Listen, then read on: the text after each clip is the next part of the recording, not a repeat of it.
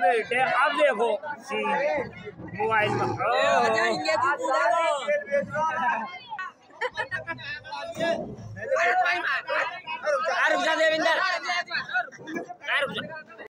अमरोहा में देर रात जंगल में तेंदुआ कुएँ में जा गिरा।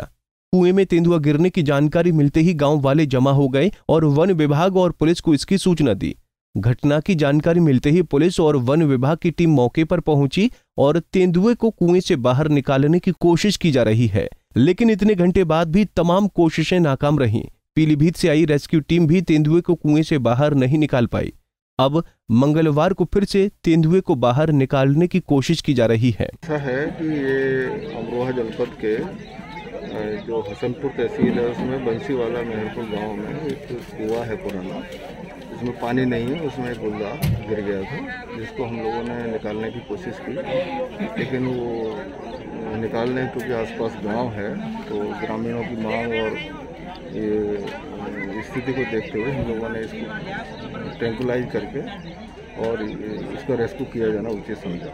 उचित स्तर के निर्देशों के क्रम में हमने ट्रैंकुलाइजेशन का प्रयास किया है, लेकिन अभी वो जो एनिमल काफ़ी हैवी है ट्रैंकुलाइज नहीं हो पा रहा है तो अभी हम वेट करेंगे, यदि इस बीच में वो बेहोश हो जाता है तो हम इसको अभी रेस्क्यू इसका करके और इसके नेचुरल हैबिटेट में ऊपर से परमिशन लेकर इसको छोड़ छोड़ेंगे। यदि मान लो ये बेहोश नहीं हो पाता तो मेडिसिन का, जब तक वो रिकवर होती है, उसका हम वेट करेंगे और फिर दोबारा जो हमारे टेक्निकल एक्सपर्ट्स हैं, हमारे डॉक्टर साहब हैं साथ में तो उनके और जो भी हमारे लखनऊ के भी सीनियर डॉक्टर्स हैं, उनसे भी हम लोग संपर्क में हैं।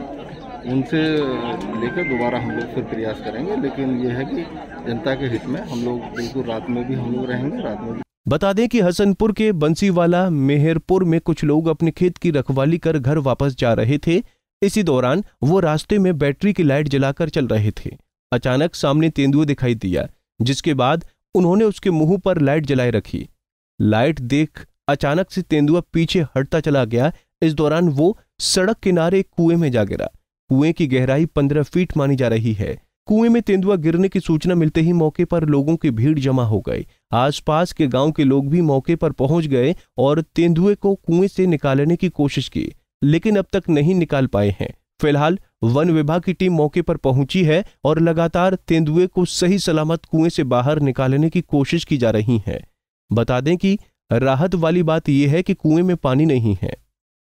जनपद के हसनपुर तहसील क्षेत्र के गाँव में जो है एक तेंदुआ रात देर रात जो है कुएँ में गिर गया, जिसके दौरान जो है अब उसका रेस्क्यू जो है अब टीम कर रही है, लेकिन अभी भी 20 घंटे बीतने के बाद में भी उसका रेस्क्यू नहीं किया गया है। बता दें कि देर रात जिस वक्त में गाँव के लोग जो है पानी देकर लौट रहे थे, उसी वक्त रास्ते में जो है तेंदुआ दिखाई दिया, जिसके बाद में जो गाँव के व्यक्ति पानी देकर खेत से लौट रहे थे, उन्होंने सीधी टॉर्च जो उसके तेंदुए के ऊपर लगाई, उसके उसी दौरान उसे चकाचौंध लगने के बाद में वो कुएँ में गिर गया और लगातार जो है रखवाली के लिए गाँव के लोग कुएँ के पास में बैठे रहे और वन विभाग की टीम को भी सूचना दी। सूचना के बाद में वन विभाग की टीम मौके पर पहुँची और सुबह से ही लगभग 20 घंटे जो है बीत चुके हैं, रेस्क्यू लगातार जारी है, लेकिन अभी तक भी सफलता वन विभाग की टीम को नहीं मिली है।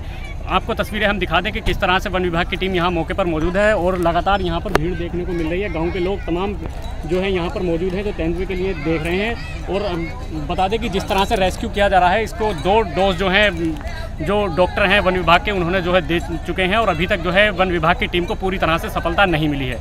अमरोहा से पंजाब केसरी टीवी, मोहम्मद आसिफ। हमसे जुड़े रहने के लिए हमारे YouTube चैनल को सब्सक्राइब करें और नई वीडियो की नोटिफिकेशन के लिए बेल आइकॉन को दबाएँ। अगर आप ये वीडियो Facebook पर देख रहे हैं तो लाइक ज़रूर करें और ज़्यादा से ज़्यादा शेयर करें धन्यवाद